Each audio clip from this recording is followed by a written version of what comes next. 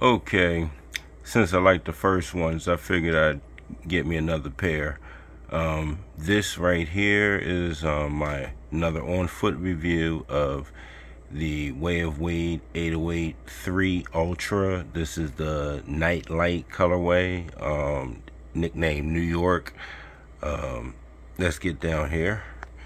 And uh, there's your carbon fiber labeling. Just give you a little up close view. Um, yeah, I know I got Nike socks on, so what? I'm cross branded. I don't care. but um, yeah, I actually um just took these out the box. I just got off work and I wanted to put them right on because my feet still hurt from work, and I was curious to see how um these would feel um after you know, um, getting off work.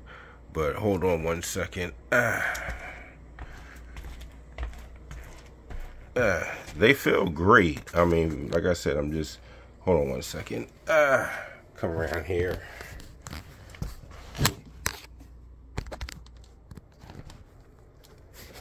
Okay.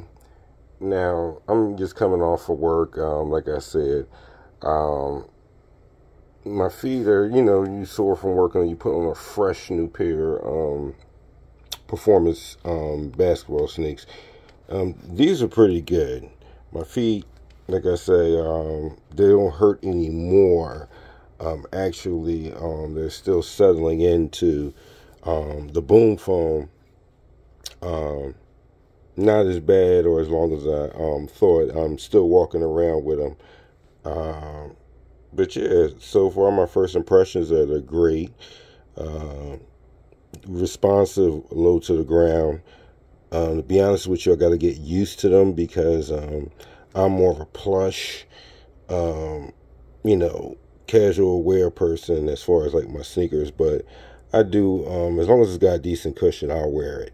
Uh, but the cushion, as far as these, um, I'm pretty satisfied with, you know, for it to be a, a uh, drop in, excuse me, instead of a you know air system in it, because you know I love um, full length zoom strobel. But any event, um, tell me what you think in the comment section. Um, like, comment, subscribe. Um, I appreciate y'all for um, tuning back into me.